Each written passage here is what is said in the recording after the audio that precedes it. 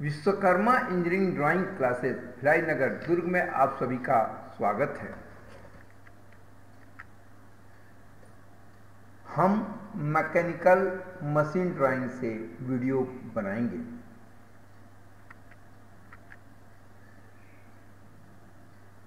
Vishwakarma engineering drawing classes के video को सिर्फ़ रेफरेंस पर्पस के लिए ही छात्र यूज़ करें। यह सलाह दी जाती है। डिटेल ड्राइंग से असेंबली ड्राइंग बनाने के तरीके पर हम बात करते हैं। फ़र्स्ट ऑफ़ ऑल कि जिस मशीन पार्ट्स का या मशीन का डिटेल दिया हुआ है, उस मशीन का पूर्ण जानकारी लें कि उसका उपयोगिता क्या है, वह किस तरह से कार्य करता है, तथा उसके किन किन पार्ट्स का क्या क्या उपयोग है, एवं वह किस तरह से असेंबल होते हैं? सभी पार्ट्स के इंटरनल और एक्सटर्नल फीचर्स के बारे में जान लें। हम एक सुटेबल स्केल चूज़ करें।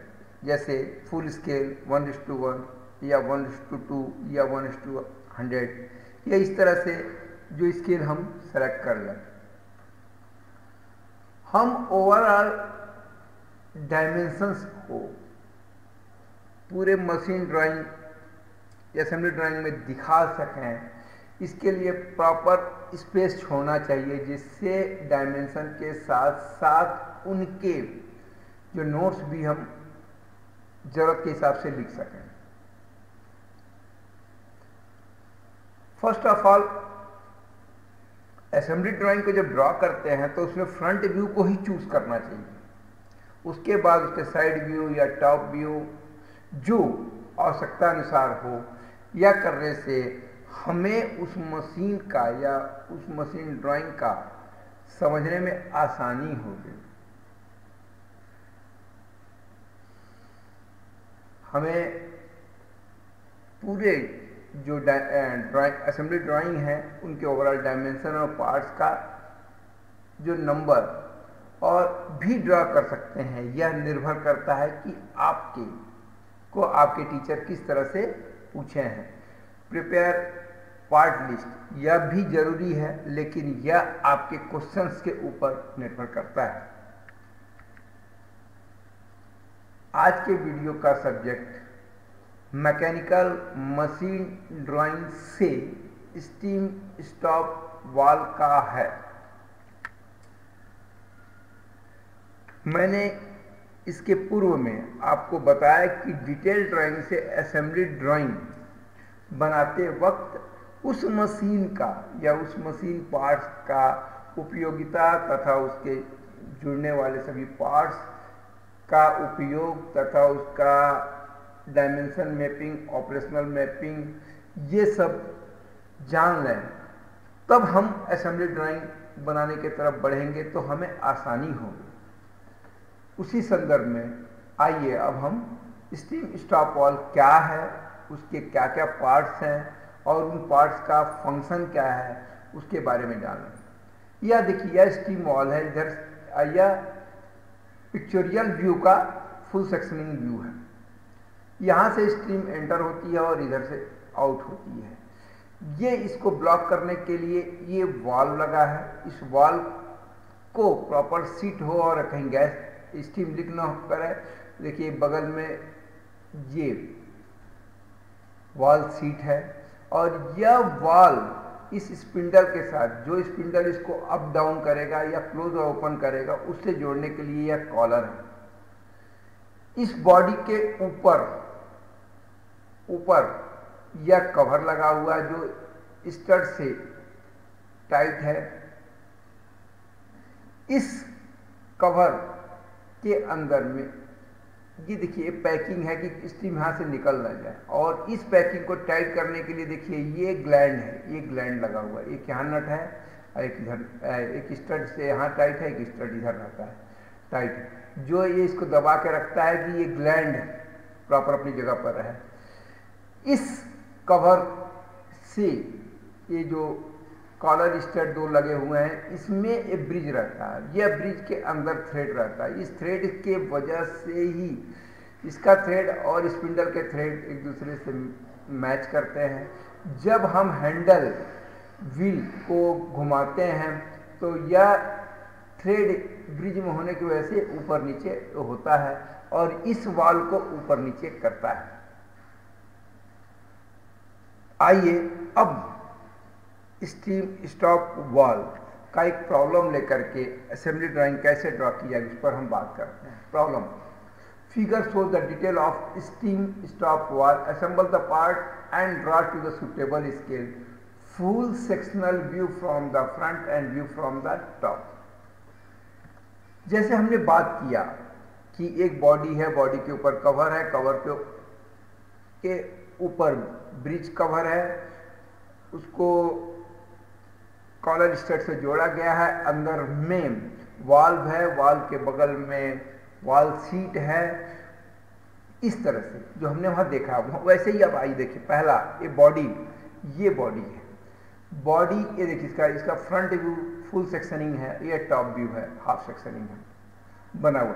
इस बॉडी के ऊपर कवर, ये ए कवर, ये टॉप व्यू है, ये फ्रंट से फुल सेक्शनल व्यू।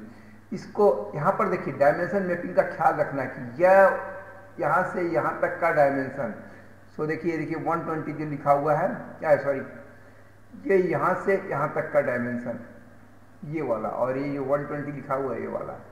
तो जब इसको आप फिट करेंगे, ये तो ग्लैंड के के लिए है, और ये वाला जो है, इसके ऊपर, जब यहाँ पर आके लगेगा तो इसको देखेंगे आप तो बराबर इसका जो डायमेंशन इस पर मैच करेगा।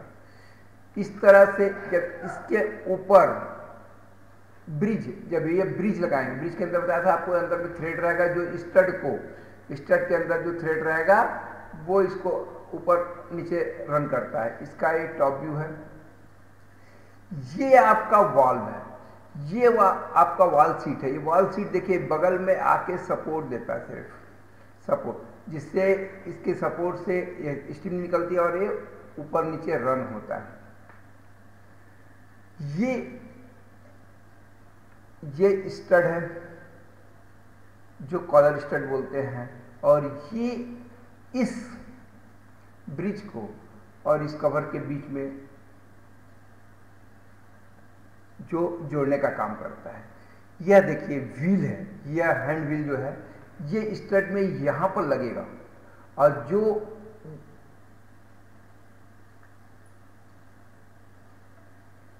ये जब हम इसको ऊपर नीचे करेंगे इसको व्हील को घुमाएँगे तो ये ऊपर नीचे होगा और साथ में एक कॉलर को, ये जो वाल को ऊपर नीचे करेगा। इनका असेंबली ड्राइंग बनाने के लिए फ़र्स्ट ऑफ़ ऑल पहले इसको ड्रॉ कर लीजिए इसके ऊपर इस कवर को रखिए। इसके अंदर इस जगह पर देखते जाइएगा। ये यहाँ पर वॉल फिट होगा। तो इनके पूरे डायमेंशन को देखिए और इस वॉल सीट का देखिए। Five one fifty six five one fifty six इसको बोलते हैं डायमेंशन मैपिंग मतलब ये वाला ये आके यहाँ सेट हो जाएगा। इसके अंदर देखिए, ये फाइव वन ट्वेंटी फाइव ये देखिए फाइव वन ट्वेंटी फाइव यानी ये जो सीट है, ये टेपर वाला, इसमें आकर के ये सीट हो जाएगा।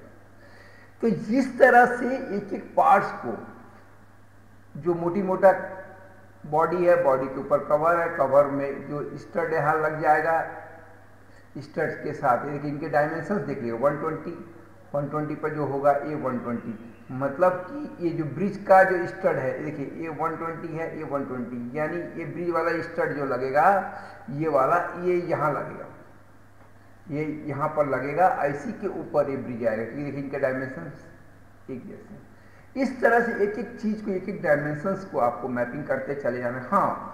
साथ में कुछ बता बहुत सारे डायमेंशन मिसिंग रहते हैं। वह क्या होता है, जब हम मेजर डायमेंशंस को ड्रॉप कर दिए जाते हैं तो वह मीट कर जाती है एक दूसरे से मिलने की वजह से। कुछ डायमेंशन हमको लोकेट हो जाते हैं।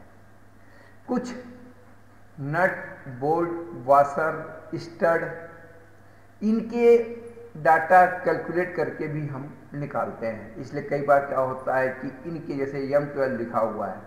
तो यम ट्वेल्व मतलब मैट्रिक थ्रेड डायमीटर ट्वेल्व इसका पिच अगर निकालना है या कुछ तो हमको कैलकुलेट करके निकालना पड़ता है।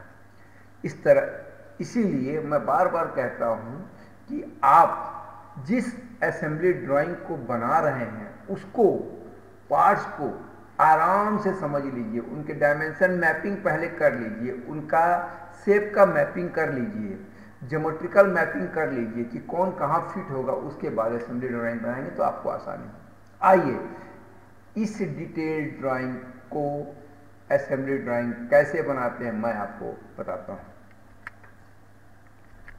देखिए, ये मेरे पास आपको बताने के लिए कोई स्पेशल कोई डिवाइस नहीं है, इसीलिए मैंने उसी जो डिटेल ड्राइंग का है उसको कॉपी पेस्ट कर लिया है कि जिससे मैं एक एक पार्ट्स को जोड़ते चला जाऊँ और आपको बताता चला जाऊँ। आपको यह करने की ज़रूरत नहीं है क्योंकि आपके पास क्वेश्चन पेपर रहता है या बुक रहती है या टीचर के द्वारा दिया हुआ सीट रहता है, जिससे इस डिटेल ड्राइंग को आप देख सकते हैं उसको देख के ड्रॉ करते चले जाइए। यहाँ एक चीज़ और बता दूँ कि मैं जब पूरी ड्राइंग को पावर पॉइंट से बनाता हूँ पावर पॉइंट से बनाने की वजह से उसमें डायमेंशंस को बराबर दिखा पाना संभव नहीं है। अतः जो डायमेंशंस यहाँ डिटेल ड्राइंग में दिया हुआ है, इसी ड्राइंग मेंशंस को देखकर आप यहाँ असेंबली ड्राइंग में कॉपी करिएगा। आइए, अब हम बात करते हैं। फ़र्स्ट ऑफ़ ऑल एक रेफरेंस लाइन खींचा। मैं ये देखिए, ये मेन बॉडी पहले बनाऊँगा। इसके लिए ये देखिए, ये जो सेंटर लाइन है ड्रॉ किया गया, वो रेफरेंस लाइन मैंने ड्रॉ किया। अब ये देखिए, ये साइड वाला ये लाइन है। इसका हाफ़ कर लीजिए, देखिए, यहाँ से यहाँ से दिया हुआ डायमेंशन तो इसका हाफ़ कर लीजिएगा तो यहाँ से हाफ़ हाफ़ ये देखिए, अब इस तरह से करके देखिए, पूरा। पहले इधर का साइड वाल बनाया, फिर इधर का साइड वाल बनाया। फिर नीचे का कर्व्स बनाया। ये देखिए, इसका आपको ये देखिए ए डायमेंशन दिया हुआ है कि सेंटर लाइन से ये आपको इतना आर्क लेना है, ये इसको आर्क इतना लेना है। ये देखिए, मैं एक एक करके आपको मेन बॉडी कैसे बनानी है वो बता बता रहा हूँ। पूरी, जैसा ये डायमेंशंस दिया हुआ है जैसे जैसे ये आपको नोट्स दिए हुए हैं, उन्हीं डायमेंशंस को यूज़ करते हुए आप ये मेन बॉडी को बनाइए। उसके बाद ये देखिए, इसके अंदर ये जो वाल्व है वाल को मैं बनाया। ये देखिए, जो वाल दिया, जैसा डायमेंशन है, उस डायमेंशन के हिसाब से मैंने वाल बनाया। अब इस वाल को, इस स्पिंडल को मैं फिट कर रहा हूँ।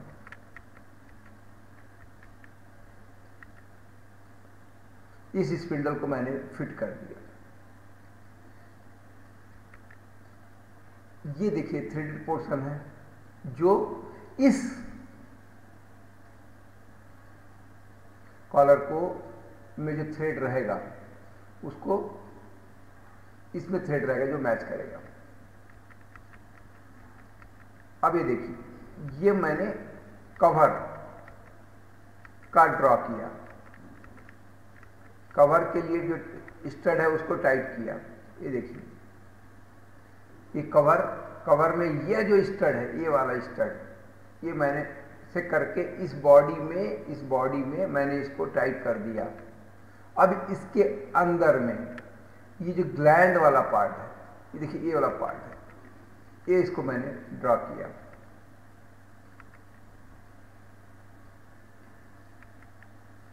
ये देखिए ग्लैंड को ये यहाँ पर पार्ट इस तरह एक ग्लैंड रहता है अंदर में, ये वाला, और ये कवर जो रहता है, ये यहाँ पर ये बनता है।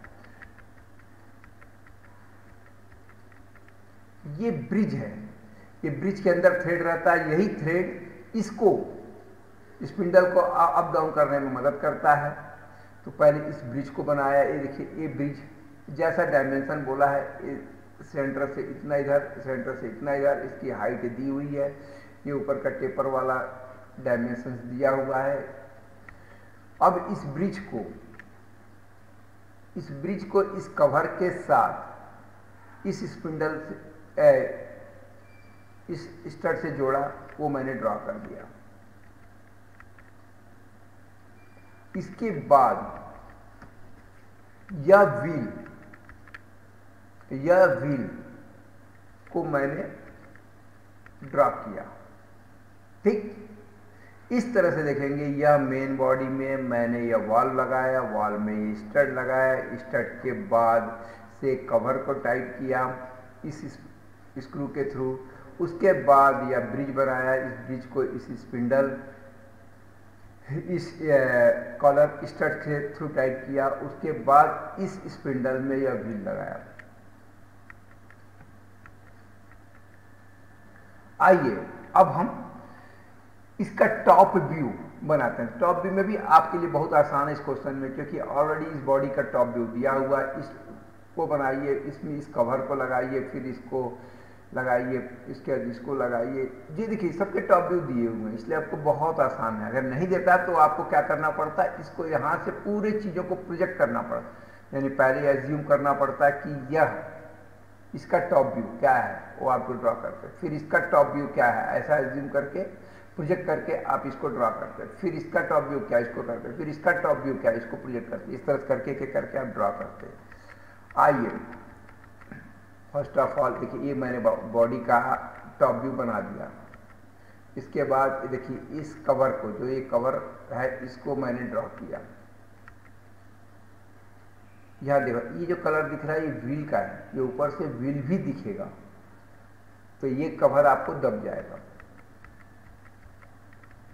इसमें देखिए, ये इस, ये वाला पार्ट ये वाला, ये यहाँ पर लग जाएगा। और ये जो साइड वाला, ये वाला, ये देखिए, ये बन रहा है।